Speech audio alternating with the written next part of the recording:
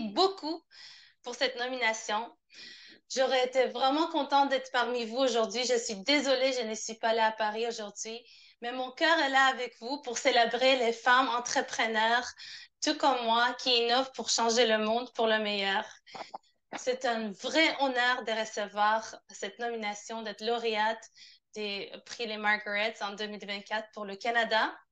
Je veux surtout remercier la femme qui est en arrière tout ça, Delphine Rémy Bouton, qui a bâti cet écosystème incroyable et exporté le modèle au-delà de la France, en toute Europe, Afrique et maintenant Canada. Merci beaucoup Delphine pour tout le changement systémique que tu es en train de faire. Et bien sûr, comme toutes les femmes innovantes et incroyables et puissantes, mais c'est l'écosystème que ça prend.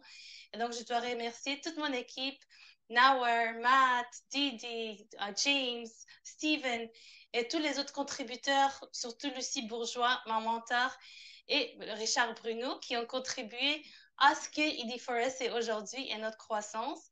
Et évidemment, chacun d'entre vous dans la salle qui fait vivre, progresser et croître les efforts de réduire les inégalités et promouvoir les femmes entrepreneurs.